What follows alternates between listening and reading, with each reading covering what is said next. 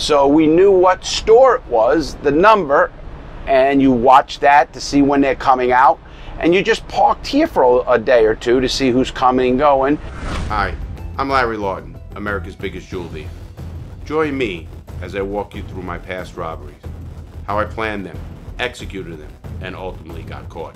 I'm going to show you how we did things in prison, like making a tattoo gun, making wine, making white lightning. It's going to be very educational. These are the untold stories. Hey everyone, here I am, Larry Lawton, for another edition of Untold Stories. Uh, this is going to be another good one. This is, I am in the plaza of my first jewelry robbery, which is actually a setup. It's pretty busy here right now. I'm in a busy plaza and I'm to show you the plaza and why I robbed here and why the setup had to be exactly like a real robbery and uh, this is what how I used to do it too. But before I even get started with that, please check out my member program right on Patreon. It's Larry Lawton Jewel Thief. Also right here, you join YouTube, and also please join Larry Lawton's Action Crew because we're making a difference. You know, I rather do these videos to show people it's not worth it because of the time I spent away. Again, it's I don't know 100 100 degrees here in Florida. I'm in the middle of the sun and I had to come down here on a nice day. I tried to do this one time uh, a week or two ago and it was raining, so I couldn't do what I'm doing. As you can see, it's a plaza, and that's the, the number one reason. As you can see right here, most of these plazas are anchored.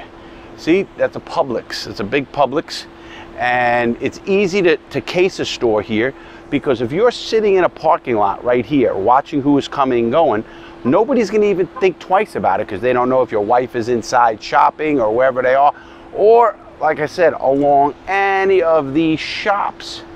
See these shops going? I'm, I'm, showing you shops up and down. Well, as you can see, I am literally in front of the barbershop, which used to be, that barbershop used to be the jewelry store. As you can see, you can, can't see in.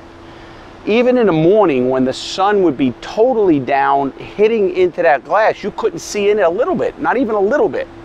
So it was perfect because the sun would be glaring off of the glass and this way anybody who walks by literally couldn't see you. If they drove by, they can't look in that shop. You could barely look in there now when the sun is going up. It's a little later in the afternoon. It's two o'clock. But in the morning when the sun was over on the other side, it would be hitting that glass and you couldn't see in there. And that was one of the, the keys. And what did I do that for? I did that because I wanted to watch who's coming, when they're coming, what time the mailman is coming, how much traffic is in there, does he get deliveries, is there a certain time. So when you case a store, you literally got to case it. Now this one was a little different because they knew we were getting robbed. But their employee didn't know. I knew there'd be one person in there, there was going to be no one in the back. I knew all of that. But couldn't know when, the guy couldn't know when, nobody could know when, and the employee couldn't know when. This is the one where the girl actually reached for a gun when I was in there, and I jumped over the counter real quick, grabbed her, what are you doing, what are you doing? Then put the gun down, put the hair flex cuffs on, took all of the jewelry out of everything, which I knew where it was gonna be, where the big stuff was gonna be. I knew all of that. So that was a little bit of a plus. I didn't have to go in this one beforehand because I had the layout and I knew everybody who was gonna be there. I did have to know who's coming and going and what time the best time to do it and all of that. But, and I had to know the getaway. And the getaway on this one was in the back. And I'm gonna go show you that, that area as well. And what I did the day of the robbery, after I knew the day I was gonna do it, knew everything I was gonna do, and what time I was doing, I literally went around the building, and I'm gonna do that in a bit, and I parked the car there with a fake plate, but I parked the car there, and then I walked all the way around and walked right in like I knew what I was doing. And that's when I did the robbery. And when I walked out, no one knew the better. Because the back end doesn't have as many people. That's where they put the trash out. But I also cased the back to see what time people put their trash out. I mean, you have to do that. But I stayed in this parking lot for a couple of weeks. Uh, knew everything that was going on in this plaza. And the plaza is pretty much the same as it was. Anchored by a major store, uh, all a bunch of other stores all around. That is normal. That is what the major thing to rob is. You do the plazas, because when you do a plaza, you know you think, oh wow, you know why would you do a plaza with all the people around? That's what you want to do. You don't want to be in, in a place where it's really alone, and if somebody sees something out of the ordinary, automatically they know something's wrong. When you do it in a plaza, they knew, you know, nobody knows. They, they don't pay attention. Most people don't pay attention what's going on around them. It's just sad as it is, that's what happens. Most people don't do that. Most people just go about their merry way and they think you're a normal person and I'm dressed normal. I was dressed in, you know, a, a nice shirt and I had a, a button-down shirt. I had my sleeves covered because I did have a tattoo on my arm. So I had uh, sleeves with rolled up so you, nobody knew I had a tattoo or anything like that. So it was like pretty perfect way to do that. And then they, you know, it was funny because the description that came out of this robbery was a red-headed guy, never had red hair, red-headed guy, six foot one and 170 pounds. At the time, I was about 250. I had brown hair, starting the receding hairline, uh, but brown hair and big guy. I had no facial hair either. And I did that on purpose because I usually always kept facial hair of some sort. So since I had facial hair when I did a robbery and I had no facial hair, by the time I even came back and I was around people, I had my goatee back or I had my mustache back, either one. So it, it was just thinking of the little details that matter. That's, you know, when I, when I decided to do untold stories, you know, I, I was kept saying to myself, how much do I tell? Well, listen, I think the more people know, the better. I think one, because if you're an owner of a store, you can start listen to me, understand what I do. I actually do some uh, robbery prevention. So if, if, anybody wants to know that, we do do that. I do. I, I, actually can go through a store and show what's in there, what what makes a, a, professional criminal not do it. I'm not talking about a smash and grab, a crackhead that's going in, smashing a, a window and taking a ring and running. No, I'm talking about the professional, me, the guy who's going to go in and wipe you out and clean you out. Now, guys like this, they loved it because they got sold their whole store for insurance. So I don't think they were pissed at me at all, and they really weren't. And uh, that I was told by the uh, FBI as well. So in this store, when I went in, it was really all set up, done right, and it really put me at ease. But it, it's also the one that showed me, wait a minute, there's a lot of money in this. I made $150,000 cash in my pocket. 150,000 cash in my pocket. And when you walk away with that kind of money in, in, in a week or so, yeah, it's pretty good money. I don't care who you are. So that's exactly, you know, what really got me going on what I do and, and stuff like that. I mean, I remember sitting on a bench right near that uh, Publix had a bench out front. I would sit there and just watch and just watch. And I'd watch what time it opened, when they closed, because I was figuring out the best time to do it. And that's when I figured out about the, the glare. And again, as you can see right now, I'll bring this even closer. You can barely see in this place. You can barely see in. And, and I'm going right up to it now. And you can barely see in that store because of the glare. But the glare was a lot worse in the morning. So when you when you think of it like that, you say to yourself, "Wow, I get it now. I get why it's its own defense." You know, I used to watch jewelry store owners put display cases. I used to laugh. I said, "Man, they're, they're, they're covering it for me. They're literally covering it for me, which I don't think was a smart move, but they did it. And you know, you learn, uh, you teach them. You hope that hopefully they learn not to do that, and that's what I always hope for. But anyway, this is this was one of the the major ones here, and this is the one that kicked off Larry's robbing of jewelry stores. And again, this is the plaza, the whole plaza right now. I'm showing you, and it's a pretty big plaza. So all the way around. So you can get an idea of, of the size of this plaza. And these stops are here. So, you know, it was just like it is. But you want to know what's going on around you. Everybody did. I mean, if you're good at what you do, you, you, information is king. I always tell everybody that no matter what you do, information is king. Never forget that.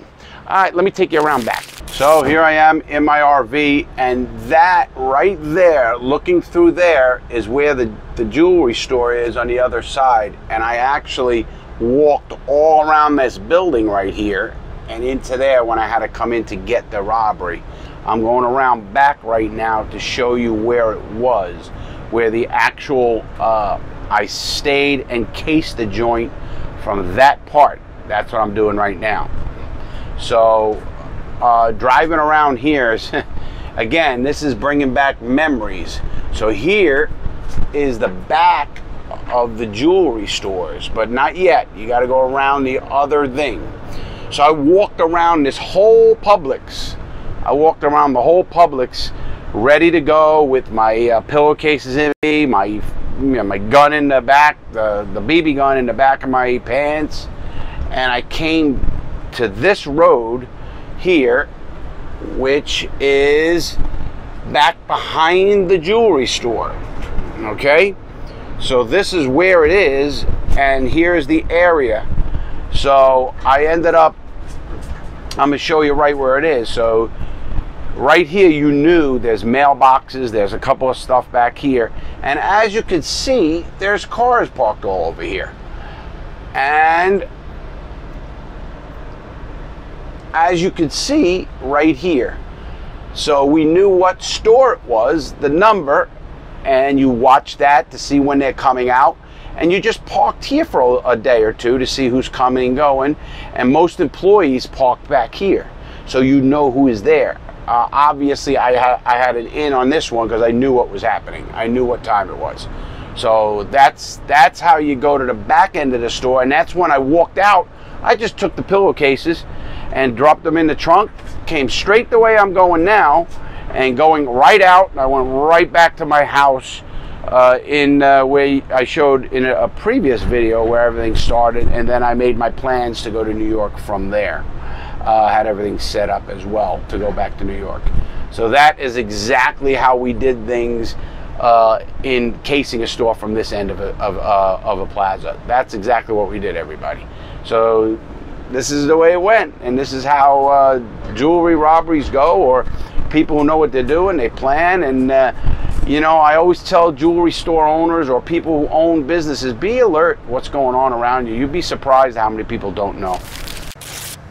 All right, everybody. Now we're going to the next spot. One, my where I kept my limousine and my clubhouse. But this right here, just showing you, is an auto body place that was owned by my friend Bernie. Bernie was a mobster from Cleveland, Cleveland, and he's the one that uh, he was an old timer at the time, and I was the one of the young bucks, young and up and coming bucks, and he used to kind of we used to talk a lot, and we had great time, Bernie and I. He was a good guy, and I'm sure he's dead now. He was back then he was 70, and that was 30 years ago. Anyway, Bernie and his son Guy, they own this place, uh, big, big auto shop. I had cars taken care of there, little under the table stuff as well. And uh, that's when my son hit the, uh, really funny story. My son, he had a golf cart, and my son gets in the golf cart, and we told him, "Don't, don't you go, don't you get in this golf cart." What does he do? He gets in the golf cart and he hits my car.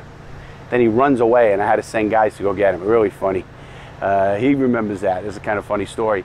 Uh, but my warehouse, where I had a warehouse clubhouse, was around the corner, and I'm going to go there now. And I had that built out into being a clubhouse where I kept my limo and stuff like that. So here you are, everybody. You can see uh, the weather turned bad on me, but that's okay. Right here, where you see this truck, is where I burnt the car. Uh, we're going to put up a picture right there. That's the, the area where I burned my car for an insurance job. Again, not things to do, everybody. This is not not the way to live your life, obviously. But coming around, and I'm sorry I can't get out of the RV because of the weather. But also check out right now. Uh, check out the warehouse. Here it is. That's you seeing it, the warehouse, and it is open. And as you can see, there's a wall in the front, but there was a straight wall going back that whole way. And that's where I had my three offices. So the first office was like a reception area. Then the second was like for uh, like a bookie with phone and a desk and all that. Actually, a couple of phones in there. And then the third was where we had the. Uh, it was like a lounge. I had a pull-out bed, you know, like a couch with a pull-out bed, and it had a TV, had a refrigerator, and all that stuff. And you got to remember, back then, you were talking the early '90s and in that those days, we didn't have technology the way we did today, where you can have TVs and big screens. I had a big screen TV, uh, but it, it, was different back then. The, the, screens were different. It was itself a, a unit. It was just a whole different animal, but it was there. And that's the place where, when one time I had my rules. One of my rules in the as as a gangster was if you didn't answer my beeper or you didn't answer, we had beepers back then. You know, you could put a code in the beeper, 911, or I think 411 was I love you or something. I forget, to be honest. I don't know what they were. But anyway, that's the place where one time I was looking for Junior who worked for me. And I love Junior to this day. Uh, Junior's a good guy, uh, really is a good guy. He was very loyal. And Junior, I needed him for something. And here it was, I think, four in the morning. And my rule was if your beeper went off and you didn't answer me, you better either be dead or in jail. End of story. So in that warehouse you're looking at right now, in the back where there's there's a bathroom back there. We had the same bathroom, but that back area where they took the wall down, that area right there was where that office was. And in the side there where the, the garage door comes back, that long garage door, is where I had a bar at the end of the wall. There was a bar there. And then when I wasn't using it as like a party place, and literally had parties with bunches of people, because I had a bar with bar stools and stuff like that, I kept the limousine in there. I had a stretch limousine with a driver and all that, and I kept my stretch limousine in there. That's where that door, you know, the big garage door that goes up and down. And as you can see, it's got a door to come in and out of the place. So anyway, at this one night, you know, I couldn't get hold of Junior, and I'm steaming. I mean, if they had a video camera back then, you would have seen steam coming out of my my, my, uh, ears.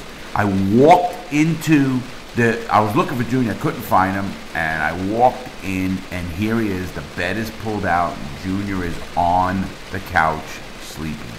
At that time, I had a 357 Magnum. I go up to the bed, I pull out the 357, and I throw two one or two, three shots. Bam, bam, bam. I throw the three shots right next to his head. I mean, he flies up out of that bed. The, the, the look in his eye was total, oh my God, oh, you know, I, I, I, and I sat down and I said, if that ever happens again, I'm to blow your brains out. You don't dare do that to me because you don't know if I need you for something that's really, really serious. So you didn't do that. But you know, it's it's great showing you guys my warehouse, the first the robbery area and where I had a robbery. I'm going to be doing more of that and showing you guys the actual warehouse and where a lot of crazy stuff happened. The parties and and my buddy Fat Tommy. I love him to this day and Tommy and I are still close. I still hear him. He's the godfather of my daughter. And uh, so Tommy used to run the bookmaking operation. Tommy was, ran everything for me without his brains, and he was very he he could keep track of things. I was partying all over the place. I was crazy. I was doing drugs, doing that. I was just all over the place. I was with multiple women, you know, doing crazy shit, having orgies in that place. It was just nuts. I mean, we had some parties in that in that place that are just still off the chart. And I, you know, I was just looking up and I was wondering if they still had the air conditioned unit. Now remember, I had this whole place built. No, what code or any of that crap or anything. I just had construction guys come in and build it out, and then even put a unit. I think it was a hot unit. Somebody stole a unit and then sold it to me. I think for two hundred and fifty dollars, and it was like a major unit because I had the ductwork and everything above the uh, uh, in those offices. Those offices didn't go to the ceiling, obviously. They had a roof on them, like a normal, like nine foot ceiling. And so I had ductwork, and they actually had a five, I think it was a five ton unit on the roof. So it was air conditioning this whole place, all done illegally, obviously. And I just wonder if that is up there too. But it was amazing what we did.